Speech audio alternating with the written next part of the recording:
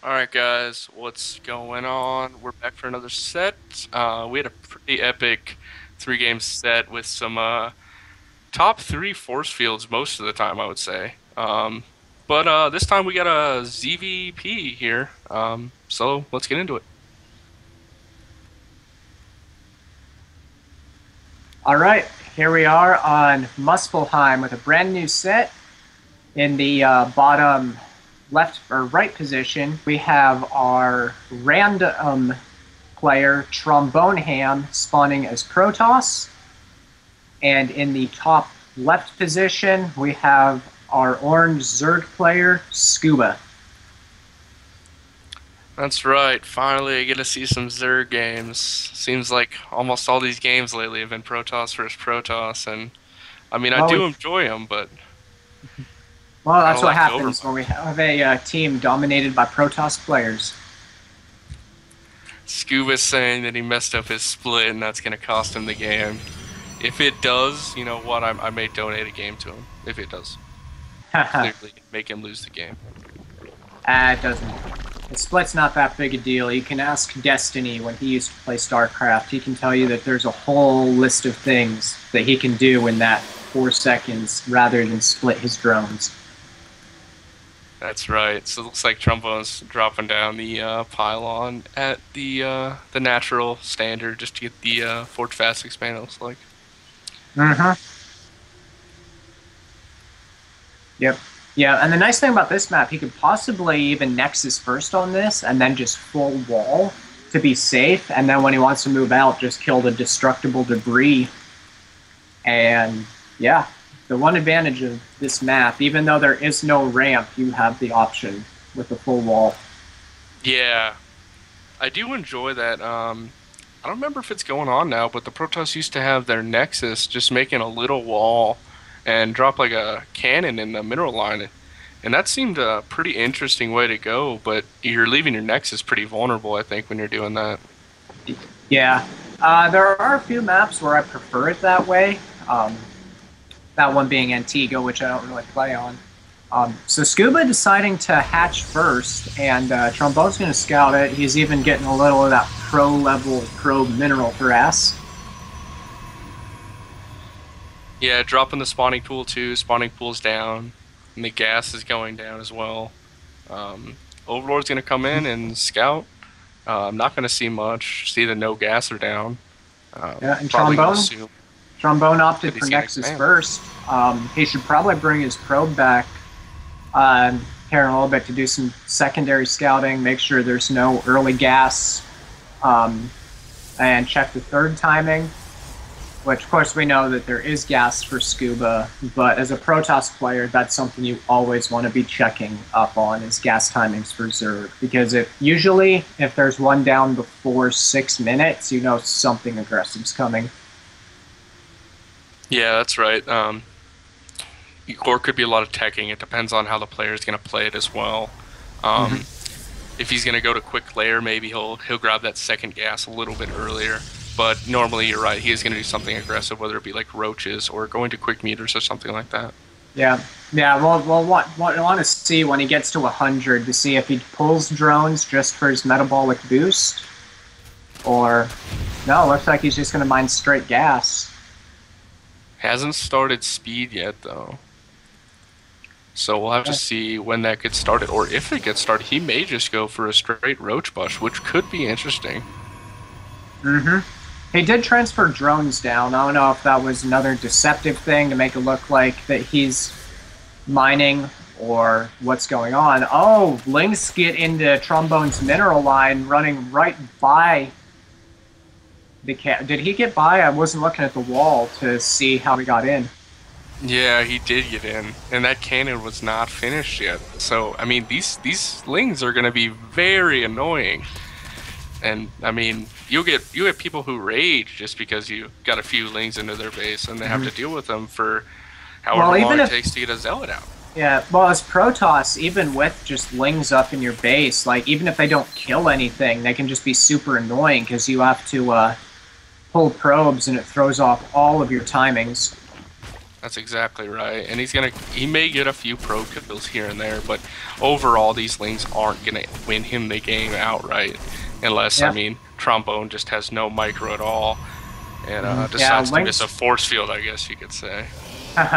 yeah, Lings do get cleaned up. Scuba had some really nice little micro there, pulling the hurt one back to buy a little bit of time to get another attack in.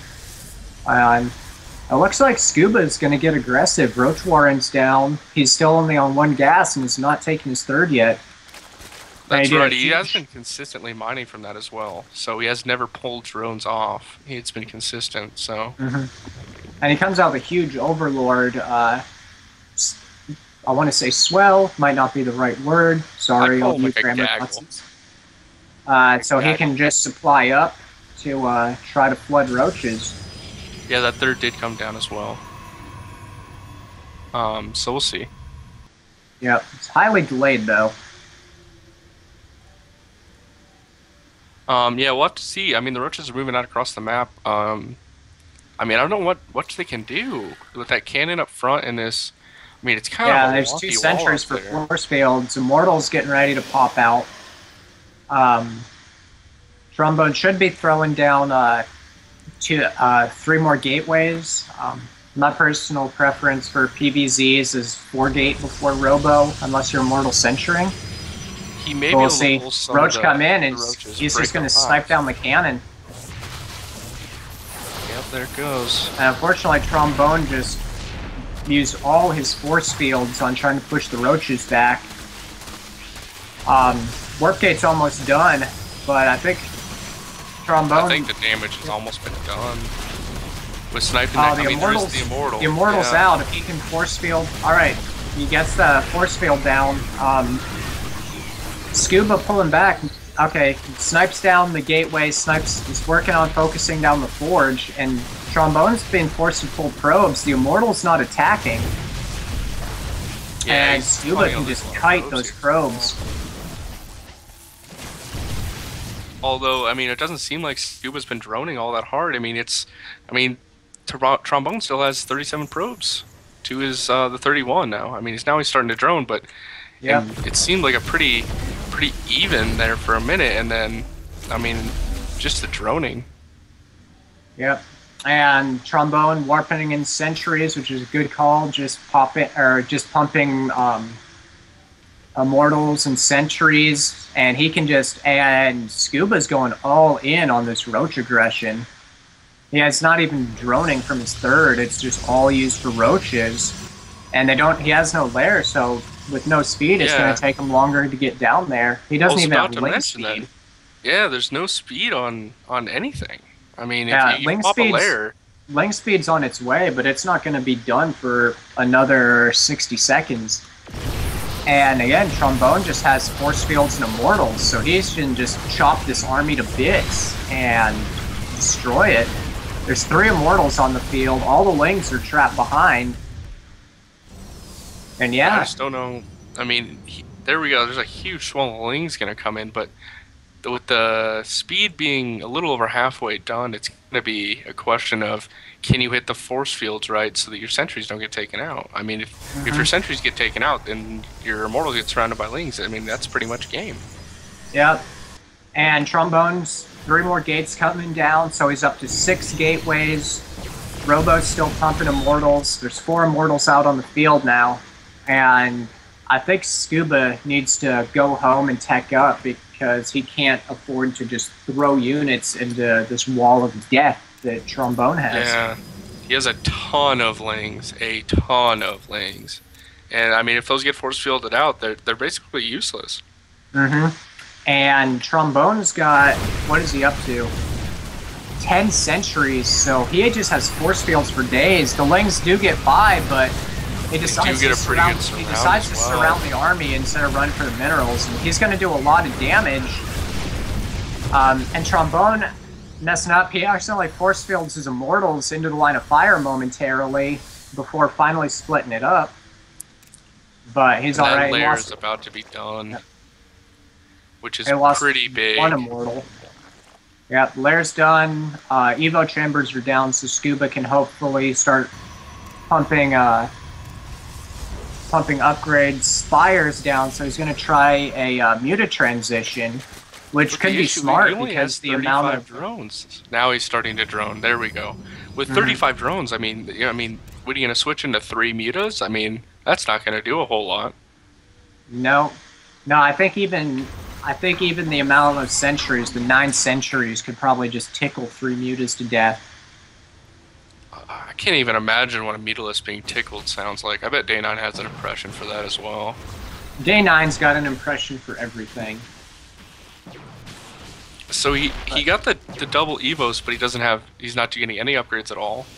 He's he has the lair, and he, Yep. he's getting a spire, but he's not getting But trombone, trombone's saying, "Heck with this! I'm gonna go out and do some damage." He's got five immortals, nine sentry warp prisms on the way. Um, oh, warp prisms out. I was looking at units tab, not production. So he's just gonna warp in another round of units. He's got he's up to 11 sentries, so he just has force fields infinitely. Um, Yeah, and you see Supplies are about even, but- down too. But I mean, what's a spine crawler gonna do to a, an immortal? Almost close to nothing. Those things take out buildings almost as fast as reapers. Mm-hmm. But yeah, it's just it's not looking good. Um, like with the amount of force fields, Zealot's warping up into the third. Um, Scuba's army is just going to be pretty much useless at this point. Yeah, you know Even what? I without think he's really gonna be able to Good take force fields going down, causing the roaches to go around, but like, oh, trapping more of them in. Um, yeah, like Scuba can't go anywhere near this force. Yeah, he's gonna try to push down into that the natural, and I think once he moves on from there, it's it's pretty much game. He he has enough to take out all of this. He's dropping good force fields here, um, separating Splitting- almost half of them. Splitting the army, those immortals are just tearing a huge strip in absolutely everything. Yeah, and there's Spines there go down, and now he's just going to walk into the natural, pretty much uncontested. Because what's fi- what's five roaches and two lings going to do against that much? Muta's coming out, and again, they're just going to get all the immediately monsters melted. going to work. I Wonder how many of those mutas got killed by the sentries. That would be interesting to know.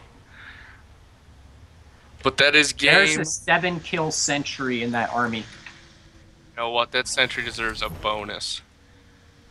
But uh, that was a good game. I enjoyed it. Mm-hmm. Yeah, very good game. Good hold by uh, Trombone, and then making the right decision once he got up to that critical mass of immortals, knowing it was up against Roach Heavy, of just bringing the hammer down. That's right. Once you see, I mean, he should have been droning so much harder from the start. Because I mean, if he had popped the mutas out earlier, maybe have had a chance. But he was just so Well, low on drones. even remembering ling speed, I think early ling speed would have made a difference. Yeah, but that could help too. fast. All right, so we're going to take a quick break and come back with game two.